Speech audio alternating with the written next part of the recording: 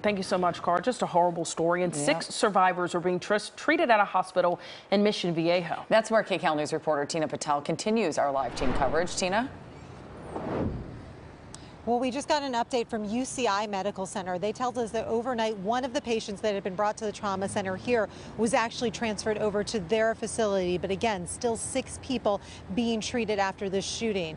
The Orange County Fire Authority tells us that five of those victims were, who were taken from the scene had gunshot wounds. It's not clear exactly what injuries the other person may have been suffering from. They tell us two of the patients were in critical condition when they were taken. The other four are unstable. We are trying to get updates on their conditions this morning.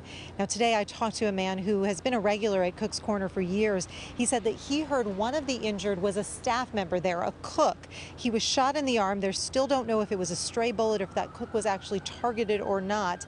But what he wanted to talk to me about was Cook's Corner. He says even though it is a biker bar, everyone who worked there and frequented there considered themselves part of a family. And he says that's why this morning it is still such a shock to think that something so violent would happen there we're like, wait a minute, Cook's?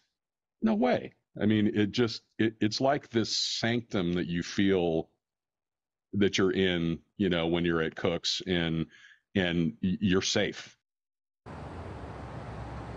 Now, State Senator Dave Min released a statement that reads in part, our district is one of the safest areas in the country, and yet we too are repeatedly afflicted with a scourge of mass shootings, an office park in Orange, a church in Laguna Woods, a bar in Trabuco Canyon.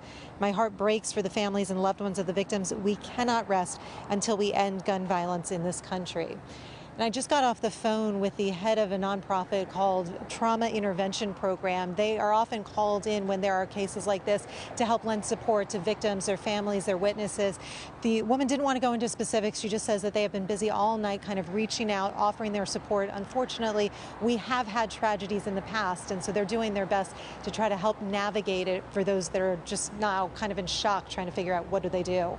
We'll send it back to you. Mm. Great to hear that they're there for support. This is a really tough situation. Thank you so much, Tina.